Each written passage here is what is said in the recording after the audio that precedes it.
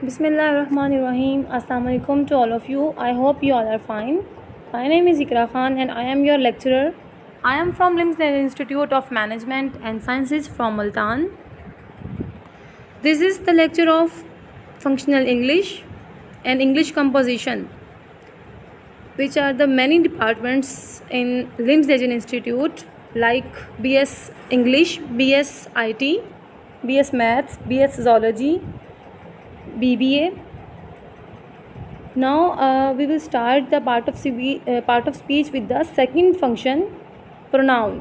Last lecture में हमने discuss किया था पार्ट ऑफ़ स्पीच के फ़र्स्ट टॉपिक यानी नाउन को उसकी डिटेल हमने देखी थी उसकी टाइप्स देखी थी और फिर उसकी टेबल्स एंड एक्सरसाइज को हमने डिस्कस किया था बहुत डिटेल में तो आज हम अपने उसी पार्ट ऑफ़ स्पीच के सेकंड टॉपिक यानी प्रोनाउन को डिस्कस करेंगे आज के लेक्चर में प्रोनाउन क्या है, उसकी टाइप्स कितनी हैं और टाइप्स में एग्जांपल्स के साथ हम उसको एक्सप्लेन करेंगे और फिर टेबल्स एंड एक्सरसाइज जैसे कि आपकी प्रीवियस लेक्चर में भी हमने डिस्कस किया था, ताकि आप लोगों के कंसेप्ट जो हैं वो हंड्रेड परसेंट उसमें क्लियर हो जाएँ। तो चलते हैं अपने लेक्चर की तरफ़, जो कि आज का हमारा टॉपिक है प्रोनाउन जी स्टूडेंट्स आज का जो हमारा टॉपिक है वो है प्रोनाउन ठीक है, अब हम देख लेते हैं कि ये प्रोनाउन जो है इसकी डेफिनेशन क्या है?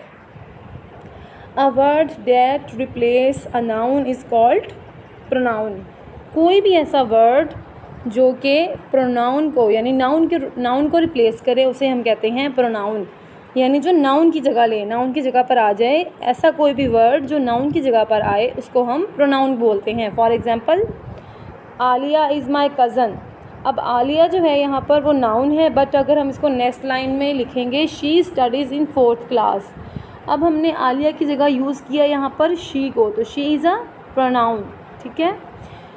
Here she is use instead of Alia, यानी यहाँ पर जो शी है वो यूज़ हुआ है आलिया, यानी जो नाउन है उसकी जगह पे तो इसीलिए हम शी को क्या कहेंगे?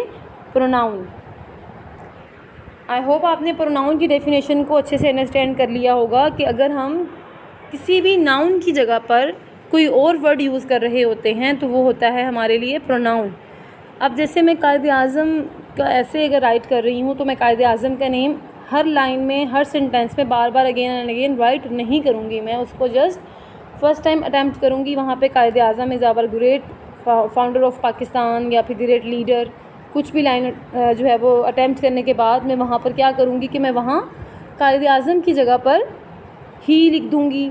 हिज लिख दूँगी तो ये आ जाएगा उनका प्रोनाउन यानी वहाँ पर मैंने कायद अज़म के साथ किसी और वर्ड को रिप्लेस किया तो वो होगा प्रोनाउन अब जब हम किसी भी नॉन लिविंग थिंग की बात करते हैं, जैसे कि अगर मैं बात कर रही हूँ टेबल की चेयर की तो मैं वहाँ पर अगेन एंड अगेन टेबल और चेयर को यूज़ नहीं करूँगी, मैं वहाँ पर इट का यूज़ करूँगी। जब जब हम वहाँ पर इट का यूज़ करेंगे ना नाउन की जगह पे तो वो होगा प्रोनाउन ठीक है? अच्छा अब हम आते हैं अपनी काइंड ऑफ़ प्रोनाउंस की तरफ़, यानी कितनी टाइप्स हैं प्रोनाउंस की तो वो हम देख लेते हैं। सबसे पहली टाइप जो हमारे पास यहाँ पे शो हो रही है, वो है पर्सनल प्रोनाउंस अच्छा पर्सनल प्रोनाउंस क्या होते हैं? A pronoun that replace a person और thing is called personal pronouns यानी पर्सनल प्रोनाउंस वो होते हैं जो रिप्लेस करते हैं पर्सन और थिंग को। सिर्फ़ पर्सन और थिंग यानी इसमें कोई भी शख्स या कोई भी चीज़ को जिसको हम रिप्लेस कर रहे हैं, वो होते हैं personal pronouns for example I we you he she it and they I we they you he she it यानी ये सेवन जो हैं, ये पर्सनल प्रोनाउंस में ही इंक्लूड होते हैं, क्योंकि हम इनको, इन्हीं प्रोनाउंस को हम यूज़ करते हैं पर्सन और थिंग को एक्सचेंज करने के लिए. ठीक है, अब देखें पर्सनल प्रोनाउंस में एक्ट नॉमिनेटिव अच्छा अब पर्सनल प्रोनाउंस जो हैं, वो एक्ट कर रहे होते हैं एज एन एक्ट नॉमिनेटिव यानी जिसको हम नॉमिनेट कर देते हैं स्पेसिफिक कर देते हैं, जैसे सब्जेक्टिव और केस इंडिपेंडेंटली और इन रिफ्लेक्टिव केस डिपेंडेंटली अब जैसे केस पोजेसिव यानी हम किसी चीज़ के साथ पोजेसन यानी पोजेशन शो करते हैं, मलकियत एक ऑनरशिप शो करते हैं, तब हम इसको यूज़ कर रहे होते हैं पर्सनल प्रोनाउंस को। यहाँ पर आपके पास जो है वो शो हो रहा होगा एक टेबल इस टेबल में हम देख रहे हैं कि पर्सनल प्रोनाउंस में जो है वो हम यूज़ करते हैं जब पर्सनस को as a first person second person and third person ठीक है? First person second person and third person ये एक टेबल है जिसमें आपको क्लियर हो जाएगा सब कुछ कि हम किस तरह से इनको यूज़ कर रहे होते हैं। अगर हमारे पास फ़र्स्ट पर्सन जो है वो आए आ रहा है तो हम इसी को माए में चेंज करेंगे मी में और फिर माई सेल्फ में। वी है तो आवर में, आवर्स में भी आ सकता है अस में और आवर सेल्फ में। यू है yours you and your self he को हिज में हिम में एंड देन हिम सेल्फ में। अब आई और वी यानी जो मैं हूँ या हम आई एंड वी हैं तो वो हमेशा फ़र्स्ट पर्सन में इंक्लूड होते हैं, लेकिन सेकंड पर्सन में हमेशा जो है वो यू यू का ही यूज़ होता है। जो यू है, यानी वो हमेशा सेकंड पर्सन होता है। आई एंड वी हमेशा फ़र्स्ट पर्सन होता है और थर्ड पर्सन में बाकी सब आ जाते हैं, जिसमें he she it and they include होता है। अब उसको हम जब कहते हैं कि ये शी है तो शी को हम हर में कन्वर्ट करते हैं and then her and her self it को हम इट्स में एंड देन अगेन इट और इट सेल्फ दे को हम यूज़ कर रहे होते हैं देयर्स में दैम में एंड दैम सेल्फ में। इस तरह से ये टेबल जो है वो कंप्लीट हो रहा है। फ़र्स्ट पर्सन में हमेशा आई एंड वी आता है। सेकंड पर्सन में हमेशा यू आता है, फिर आगे उसकी थर्ड जो और फ़र्स्ट जो भी होती हैं, और योर सेल्फ यानी ये जो आगे उसको नॉमिनेट कर रहे होते हैं सब्जेक्टिव केस वो आगे उन्होंने डिफ़ाइन किए हुए हैं। इसी तरह से थर्ड पर्सन में मैंने आपको बताया है कि वो बाकी के सब प्रोनाउंस इंक्लूड होते हैं। ठीक है subjective subject pronouns nominative subjective case जो हैं, वो I we you he she it and they all of these words will act as the subject of a verb यानी इनको हम यूज़ कर रहे होते हैं सब्जेक्ट ऑफ़ अ वर्ब यानी जो भी वर्ब आ रहा होता है, उसके बाद भी हम यूज़ कर रहे होते हैं my self our self as me इनको, यानी वर्ब के बाद इसको यूज़ कर रहे होते हैं प्रोनाउन के ही सब्जेक्टिव केस को, ये सब्जेक्टिव केस हैं नाउन प्रोनाउन के, ठीक है? अब फॉर एग्ज़ाम्पल यहाँ पे उन्होंने एग्जांपल्स दी हुई हैं ही शुड वर्क हार्ड अब ही को उन्होंने अंडरलाइन किया है। He should work hard he is the subject यानी ही जो है वो सब्जेक्ट है ऑफ़ वर्क वर्क यानी यहाँ पे क्या आ रहा है? He should work hard work जो है वो वर्ब है और ही जो है वो इसका सब्जेक्ट है. I have a big chocolate bar I I जो है वो सब्जेक्ट है. ठीक है? I have a big chocolate bar कि मेरे पास ये मौजूद है, यहाँ पे कुछ भी जो आपको बताया जा रहा है, लेकिन उससे पहले नाउन यानी कि इस सब प्रेडिकेट का ताल्लुक जो है वो इस सब्जेक्ट से है.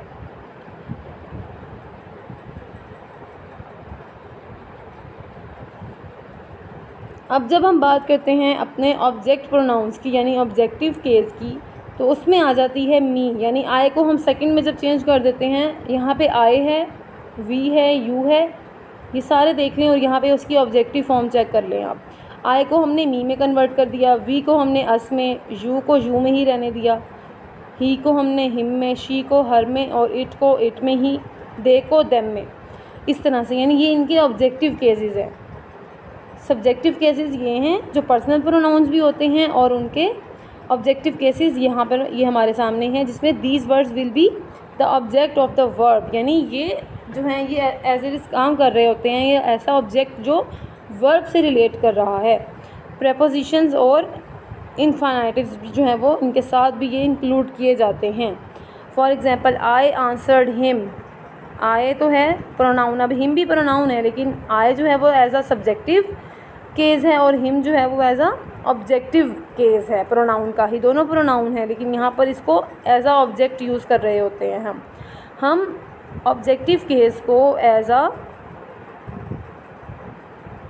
यानी ऑब्जेक्टिव प्रोनाउन को हम ऑब्जेक्ट ही कंसिडर कर रहे होते हैं। ठीक है? दे इग्नोर्स अस दे इग्नोर्स अस या फिर शी इग्नोर्स इग्नोर्ड अस कुछ भी यहाँ पे आप देखेंगे तो यहाँ पे अस जो है वो ऑब्जेक्ट होगा, लेकिन अस अगर हम देखें ये अब ऑब्जेक्टिव प्रोनाउन ही है, यानी ऑब्जेक्ट प्रोनाउन है। अच्छा उसके बाद है हमारे पास ऑनरशिप प्रोनाउंस यानी पोजेसिव केस ठीक है? जिसमें आ जाता है माए माइन जिसमें आप मलकियत शो कर रहे होते हैं ऑनरशिप शो कर रहे होते हैं कि ये चीज़ आपकी है और ये चीज़ उसकी है या ये चीज़ तुम्हारी है। ठीक है तो my mine our ours your yours his her hers its theirs and theirs these words show ownership answer answering the question whose कि किसकी है? इसके आंसर्स में ये चीज़ें हम आंसर्स में बताते हैं कि माइन या माए आवर्स आवर्स योर्स कुछ भी, जिसमें क्वेश्चन पूछा जाता है कि हुज़ ठीक है? हुज़ बुक इज़ दिस ये किताब किसकी है? तो दिस uh, आप क्या बताएँगे? योर्स या माइंड या हर कुछ भी इस तरह से आंसर यानी ऑनरशिप एक होता है. आगे है हमारे पास रिफ्लेक्सिव प्रोनाउन अच्छा अब रिफ्लेक्सिव प्रोनाउन किसे कहते हैं? रिफ्लेक्सिव प्रोनाउन यानी मिरर प्रोनाउंस को भी कहते हैं और सेल्फ प्रोनाउंस को भी कहते हैं.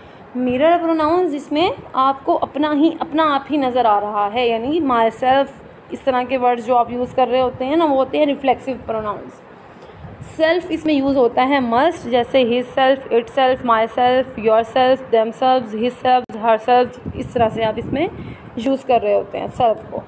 A reflexive pronoun refers back to the subject यानी वो जो रिफ्लेक्सिव प्रोनाउन होते हैं, वो हमेशा शो कर रहे होते हैं या बता रहे होते हैं, आपके सब्जेक्ट को ही, यानी दोबारा बैक वही वापस बता रहे होते हैं. आई है तो माई सेल्फ ही है तो हिम सेल्फ यू है तो योर सेल्फ यानी अगेन उसी की चीज़ को वो बैक सब्जेक्ट के अकॉर्डिंग ही बता रहे होते हैं. It shows the addition of self यानी ये सेल्फ और सेल्फ ज़्यादा हैं तो हम वहाँ पे दे सेल्फ नहीं दे सेल्फ यूज़ करेंगे देम सेल्फ यूज़ करेंगे देयर सेल्फ यूज़ करेंगे देयर सेल्फ नहीं आएगा. ठीक है? प्लूरल के साथ हम सेल्फ यूज़ करेंगे सिंगुलर के साथ हम सेल्फ यूज़ करेंगे. Two possessive pronouns for example he introduced himself I hurt my self ठीक है? ही इंट्रोड्यूस्ड हिमसेल्फ उसने अपने आप, अपना जो है वो अपने आप को मुतारफ़ कराया। आई हर्ट हिमसेल्फ मैंने अपने आप को तकलीफ़ दी या तकलीफ़ पहुँचाई। अब ये हो गए हमारे पास रिफ्लेक्सिव प्रोनाउंस आई होप आपने रिफ्लेक्सिव प्रोनाउंस को भी अच्छे से अंडरस्टैंड किया होगा और पोजेसिव यानी ऑनरशिप प्रोनाउंस को पोजेसिव प्रोनाउंस भी कहते हैं। इनको भी, ठीक है? फिर उसके बाद, उससे पहले मैंने आपको ऑब्जेक्टिव प्रोनाउंस और जो है वो सब्जेक्टिव प्रोनाउंस बताए थे। ठीक है, उसके बाद हैं हमारे पास एम्फेटिक प्रोनाउंस एम्फेटिक की एम्फोसाइज इसका मतलब होता है कि किसी भी चीज़ को जो है वो स्ट्रेस के साथ या फिर प्रेशराइज करके जो है वो ज़ोर देकर किसी चीज़ पर बात की जाए। उसको बोलते हैं एम्फेटिक प्रोनाउंस ठीक है? अब क्या है emphatic pronouns shows and emphasize यानी ये आ, किसी भी स्ट्रेस को जो है वो शो कर रहा होता है ऑन अ सब्जेक्ट यानी सब्जेक्ट पर कोई भी प्रेशर या ज़ोर देकर या तकैद कर कर बात ताकीद करके बात की जाती है तो उसको बोलते हैं emphatic pronoun it has the same form as a reflexive pronoun for example my self him self etcetera but its function is to put stress on the subject इसका यानी होता तो ये रिफ्लेक्सिव ही है, क्योंकि इसमें भी सेल्फ यूज़ हो रही होती है। लेकिन इसमें क्या होता है कि इसमें स्ट्रेस होता है सब्जेक्ट पर। For example here the emphatic means without help I my self build this house I my self अब आई बिल्ड दिस हाउस भी कह सकते थे, लेकिन आई माई सेल्फ यानी मैंने ख़ुद से जो है वो इस घर को तामीर किया। इसमें जो है वो स्ट्रेस है, यानी आई माई सेल्फ ठीक है? द टीचर हर सेल्फ यानी इसमें ये होगा कि सब्जेक्ट भी दे दिया जाएगा और फिर उसी को आगे सेल्फ के अकॉर्डिंग एक्सप्लेन भी कर दिया जाएगा, जिससे आपको पता चल जाएगा कि ये इम्फेटिक प्रोनाउन है, जबकि रिफ्लेक्सिव प्रोनाउन में सब्जेक्ट नहीं होगा। सब्जेक्ट के बाद जो एक ऑब्जेक्ट होगा, उसमें सेल्फ यूज़ हो रहा होगा और वो आपके बैक सब्जेक्ट की तरफ़ आपको इशारा दे रहा होगा इंडिकेट कर रहा होगा। अब है रिलेटिव प्रोनाउन अच्छा रिलेटिव प्रोनाउन यानी किसी चीज़ के साथ, किसी से किसी भी क्लॉजेज या सेंटेंस के साथ रिलेट कर रहा है ये pronoun relative pronoun links relative pronouns link the clauses in the sentence for example who which what that ठीक है? इस तरह के वर्ड्स जो हैं वो शो हो रहे होते हैं हु विच वट डैट यानी अब रिलेटिव यानी इसमें आपको रिलेशन का पता चलता है हु यानी कौन विच यानी कितने या कैसे अच्छा हाउ भी आ सकता है वट और वट यानी क्या डेट यानी ये। I met the boy who had made a record I met the boy अब हु यानी इसमें रिलेशन बता रहे हैं आगे। रिलेटिव प्रोनाउन है, यानी उसी से रिलेट करके वो आगे एक्सप्लेन भी कर रहे हैं. आई मेट द बॉय मैं एक लड़के से मिला. हु यानी जो के हैड मेड अ रिकॉर्ड जो कि जिसने सारा रिकॉर्ड बनाया. अब हु यानी यहाँ पे वो शो कर रहा है रिलेट यानी ये वाला जो आपका सेंटेंस है, ये इससे रिलेट कर रहा है. तो ये है आपके पास रिलेटिव प्रोनाउन रिलेटिव प्रोनाउन हमेशा एक सेंटेंस को दूसरे सेंटेंस के साथ रिलेट करवाता है, जबकि मीट में आपके पास रिलेटिव प्रोनाउंस की वो जो वर्ड होते हैं, वो यूज़ हो रहे होते हैं। अच्छा नेक्स्ट हम देख लेते हैं।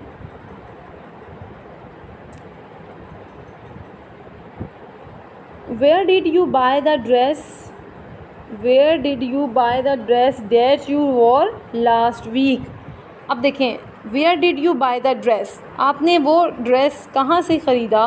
ख़रीदा था? डेट जो कि यू वॉर लास्ट वीक जो आपने पिछले हफ़्ते पहना हुआ था। ठीक है? अब फिर यहाँ देखिए डैट जो के, यानी इसमें मीनिंग सारे होंगे ही होंगे कि जो रिलेट कर रहे हैं आपके। जैसे अगर मैं आपसे कहूँ कि आपका वो पेन बहुत प्यारा था जो आप यूज़ कर रहे थे। जो आप, यानी I like your pen that you will that you use ठीक है? या मैं आपको ये कहूँ कि आपने वो टेस्ट बहुत अच्छा याद याद किया हुआ था, जिसके नंबर मैंने आपको फुल दिए थे, ठीक है? यानी जिसके नंबर अब मैं आगे उसको एक्सप्लेन भी कर रही हूँ कि ये वही चीज़ है जो आपने किया हुआ है काम, या जो आप कर चुके हैं, या जो भी आपने, यानी मैं एक आपको चीज़ बता रही हूँ, फिर मैं आगे ये भी मेंशन कर रही हूँ कि यानी जो चीज़ उससे लिंक कर रही है, उसी से रिलेट कर रही है, ठीक है? अच्छा जैसे अगर एक और एग्ज़ाम्पल दूँ क्या आपका वो टॉय या फिर वो बस जो है वो ख़राब हो गई है जो आपने उस फैक्ट्री या उस कंपनी से परचेज़ की थी? ठीक है? या मैं ये कहूँ कि कंपनी से परचेज़ की हुई गाड़ी जो आपने ली थी, क्या वो ख़राब हो गई है? ठीक है? यानी इस तरह से, यानी जिसका मैं एक सेंटेंस का लिंक दूसरे सेंटेंस से हो और उसको कोई एक वर्ड जो एक स्पेसिफिक वर्ड है, जैसे यहाँ पर डैट है तो वो उस वर्ड को आपस में रिलेशन कोई बता रहा है रिलेट करवा रहा है रिलेटिव प्रोनाउन कहलाएगा। ठीक है, उसके बाद है हमारे पास सिक्स पर जो डेफिनेशन आ रही है वो है सिक्स टाइप है हमारे पास इंट्रोगेटिव इंट्रोगेटिव प्रोनाउंस होते हैं जिसमें क्वेश्चन होते हैं, यानी क्वेश्चन प्रोनाउंस आ जाएँगे। अच्छा इसको देख लेते हैं। इंट्रोगेटिव मीन्स सवालिया। तो interrogative pronouns are used to ask questions these include who when what which इस तरह के हाउ हाउ मैनी इस तरह के सारे जिसमें क्वेश्चन है और इस इवन के इंट्रोगेटिव प्रोनाउंस वो भी हो सकते हैं, जिसमें आप कोई भी क्वेश्चन पूछ रहे हैं। हु एट माई पिज़्ज़ा मेरा पिज़्ज़ा जो है वो किसने खाया? Which which weather do you like most आपको कौन सा मौसम सबसे ज़्यादा पसंद है? ये होते हैं हमारे पास who which what what is your name where do you live ठीक है? ये सब क्या होंगे? ये होंगे इंट्रोगेटिव प्रोनाउंस उसके बाद आ जाता है हमारे पास डिमॉन्स्ट्रेटिव प्रोनाउंस यानी पॉइंटिंग प्रोनाउंस जिसमें हम पॉइंट आउट कर रहे होते हैं किसी भी चीज़ को। Demonstrative pronouns are used to show which things you are talking about कि वो आप कौन सी चीज़ के बारे में आप बात कर रहे हैं, यानी आप उसको पॉइंट आउट कर रहे होते हैं। दे शो द नेनेस यानी जो आपके करीब है या फॉरनेस या फिर आपसे दूर है। इसमें क्या आ जाता है? दिस और डैट दिस यानी ये डैट यानी वो।